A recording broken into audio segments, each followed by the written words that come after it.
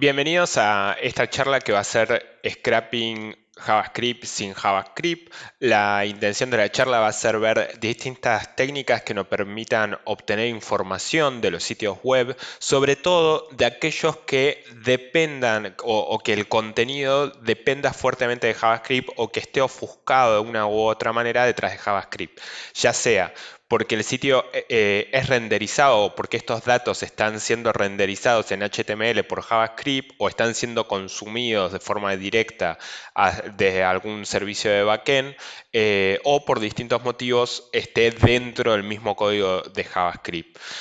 Generalmente, cuando suceden este tipo de situaciones, lo más común es utilizar algunas herramientas que simulen o, tengan un, Chrome embebido de alguna manera, ya sea en modo headless o no, y levanten el browser y utilicen Chrome para renderizar ese sitio y poder recién ahí consumir ese HTML. Sin embargo, este tipo de técnicas suelen ser eh, relativamente costosas, entonces vamos a ver alternativas y nos vamos a, mantener con la Standard Library de Python y dos librerías particulares externas, pero que son muy conocidas dentro del ecosistema de Python.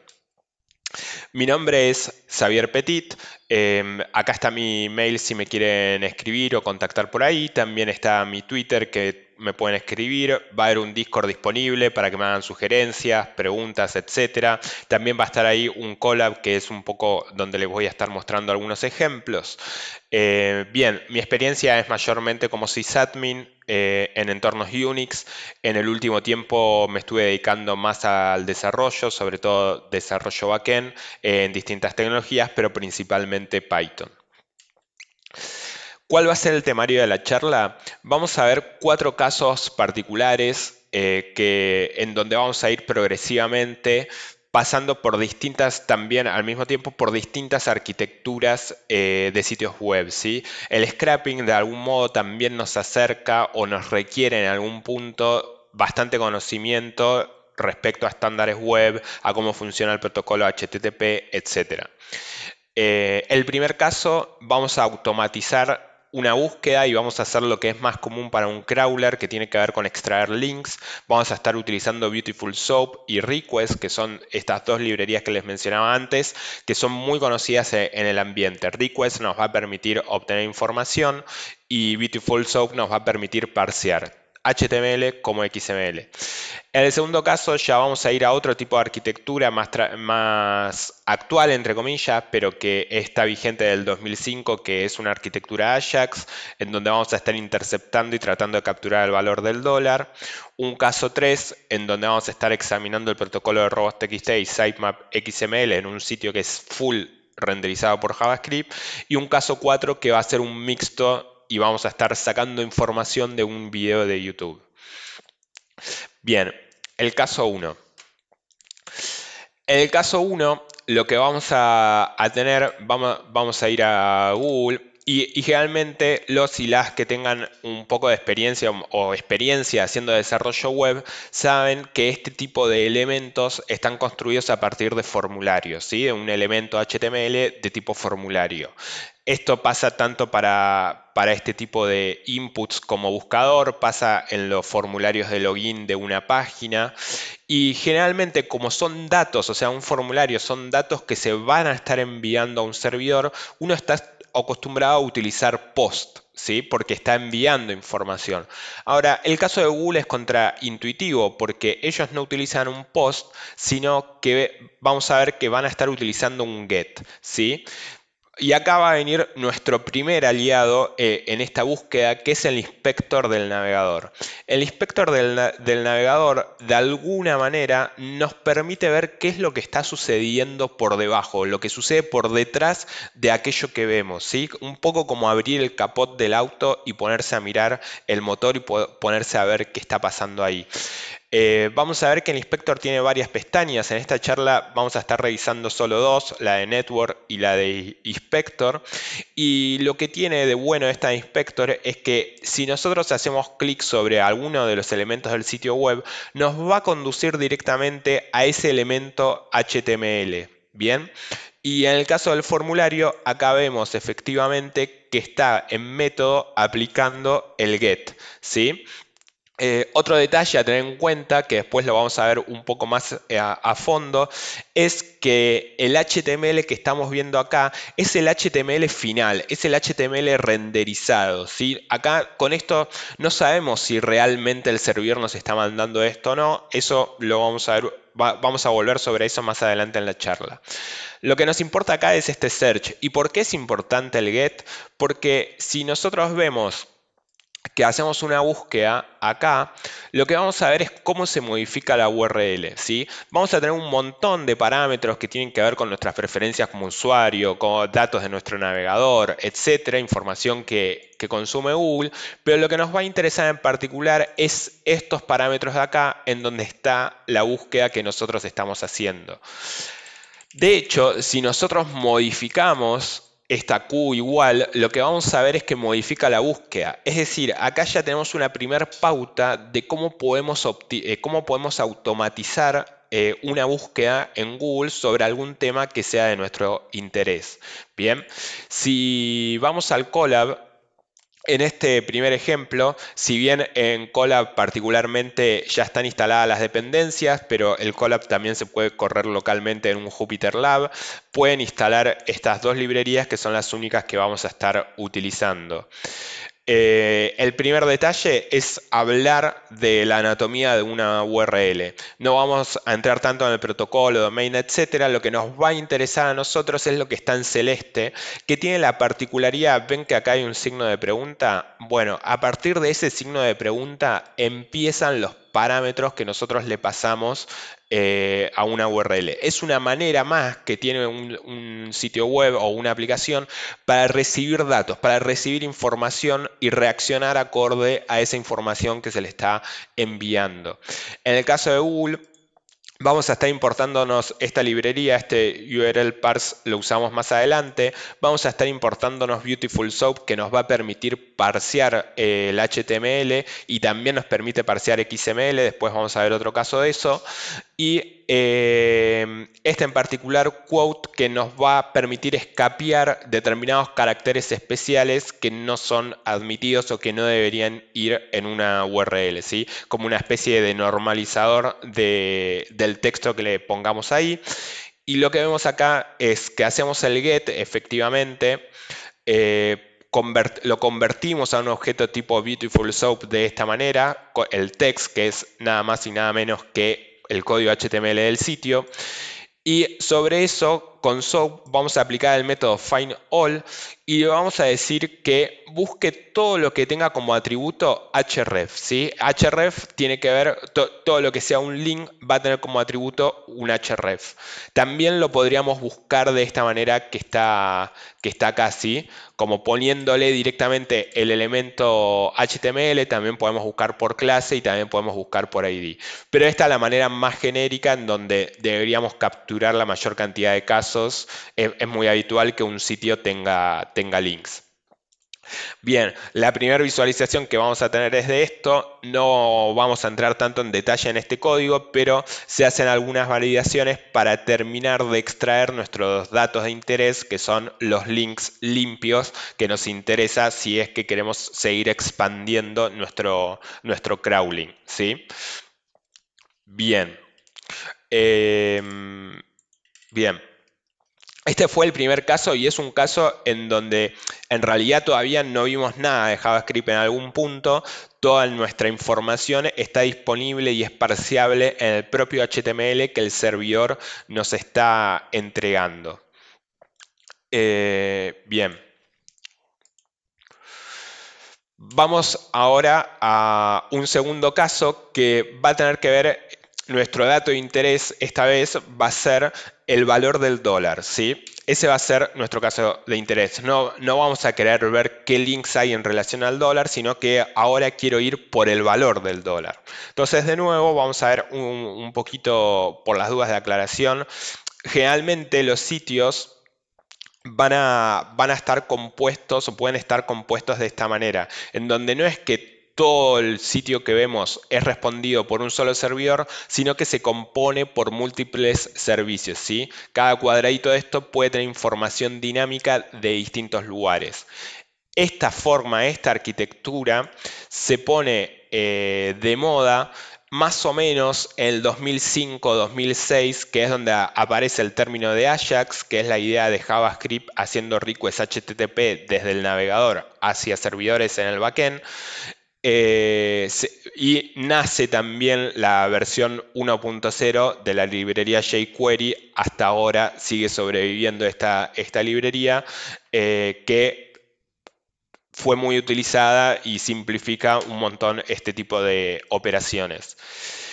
Bien, lo que vamos a ver acá para eso es la página de $C en donde pensando un poco en este caso, nosotros lo que vamos a suponer es que estos valores que son más dinámicos puede ser, o sería nuestra hipótesis, que la página los está yendo a buscar a algún lado, que no necesariamente vienen en el HTML desde el servidor.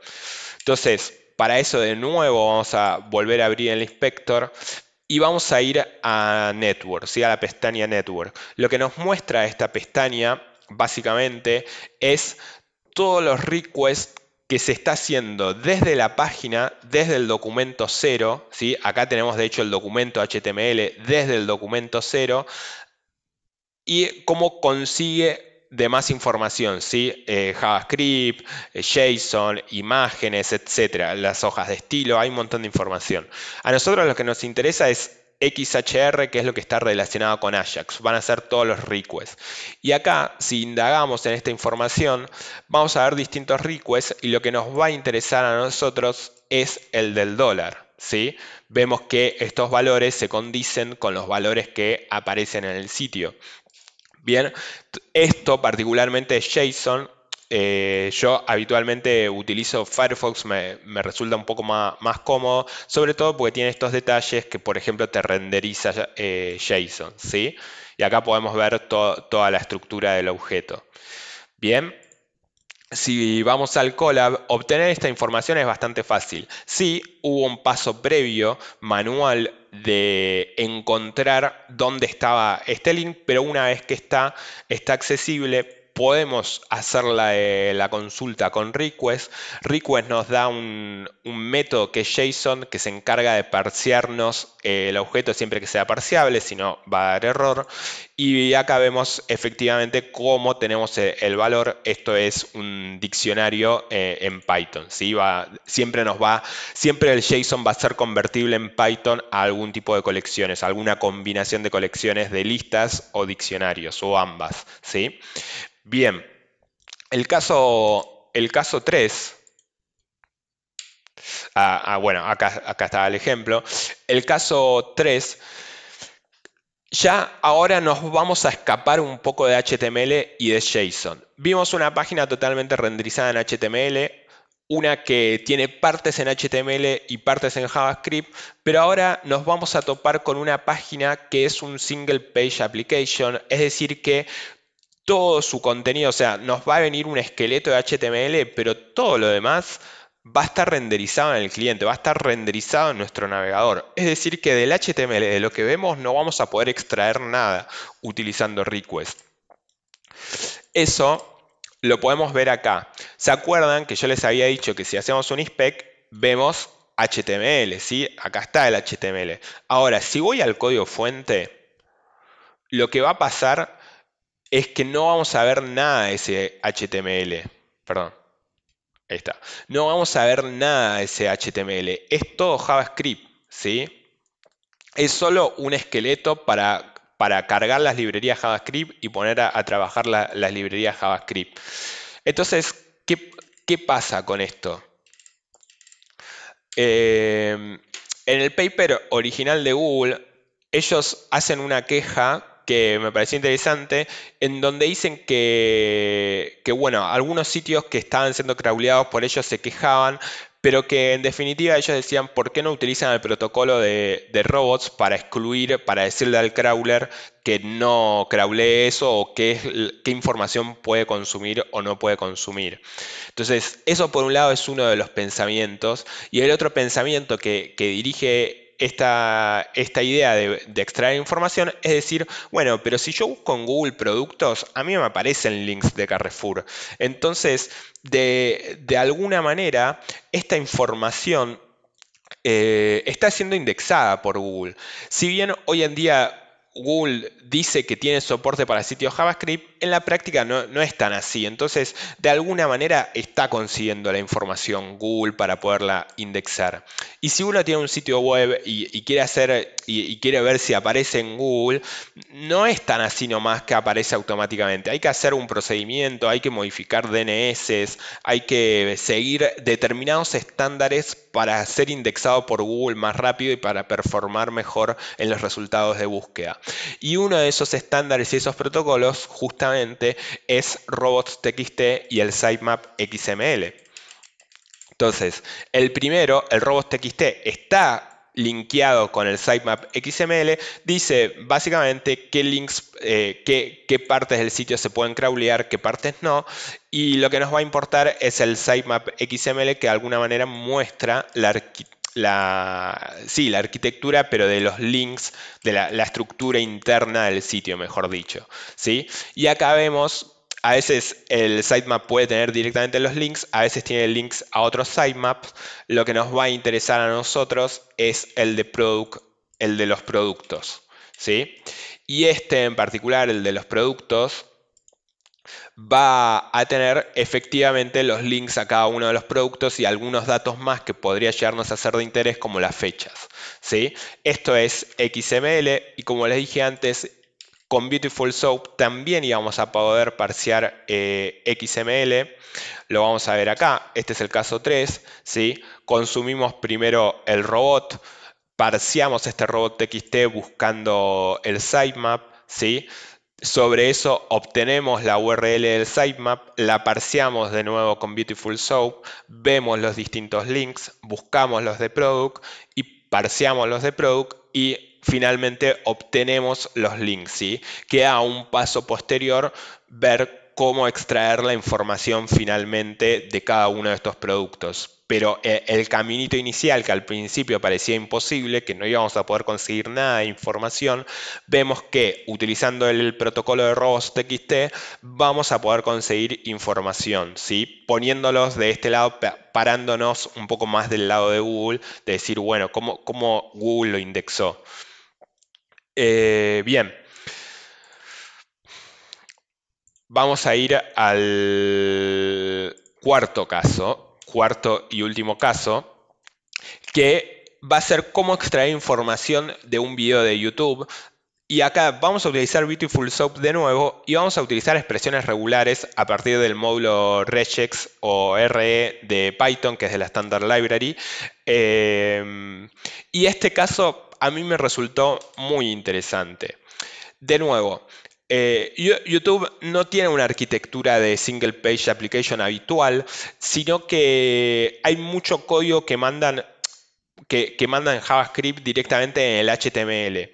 Generalmente estos grandes sitios eh, que son que son Google, YouTube, etcétera, que tiene como una carga masiva o un tráfico masivo, eh, están muy pendientes de optimizar los tiempos de respuesta. ¿sí? Hay distintas métricas, por ejemplo esta de First Contentful Pain, y, distintas métricas que Google le da mucha importancia y en general le da importancia de, cuánto tarda el sitio en estar disponible para el usuario. Es importante. Entonces, lo que desde YouTube ellos tratan de, de optimizar es justamente esto. ¿Y cómo lo optimizan? Bueno, mandan un montón de JavaScript, pero un montón de JavaScript ¿sí? un montón de JavaScript eh, ya desde el sitio. ¿sí? Mandan incluso datos en JavaScript dentro del documento principal de la página que nosotros nos estamos bajando.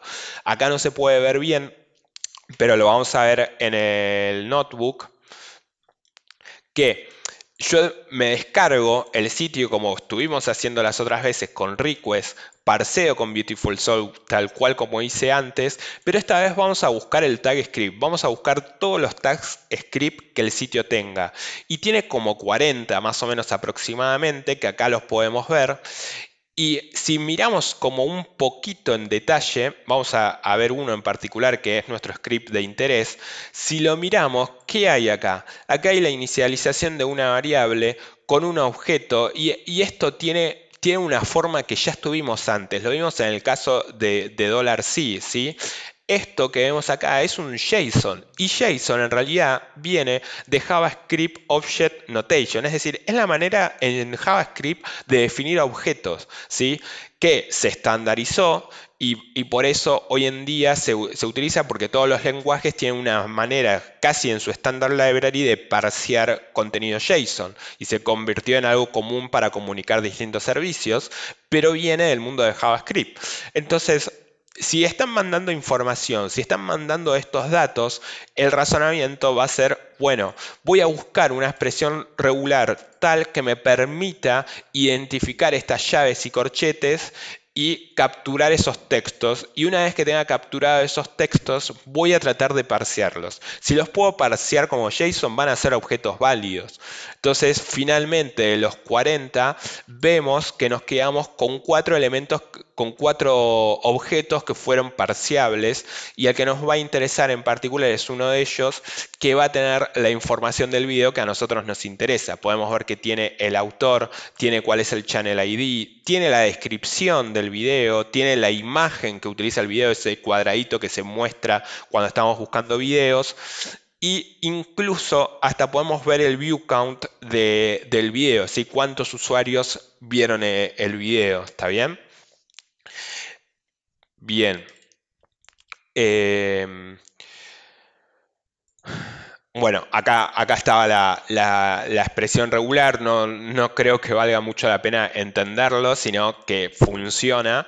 Eh, y ahora viene el momento de las conclusiones. ¿no? Básicamente lo que vemos con scrapping es, por un lado, una técnica para poder extraer información, pero que a la vez también nos sirve a nosotros para entender, o sea, es interesante para, pararse del otro lado y entender cómo funciona el mundo web. Eh, es un camino que va en dos vías. Por otro lado, eh, estuvimos, o sea, para esto estuvimos utilizando eh, determinados estándares. Hay algunos que estamos dejando de lado. uno de los más conocidos que sigue vigente es el de RSS.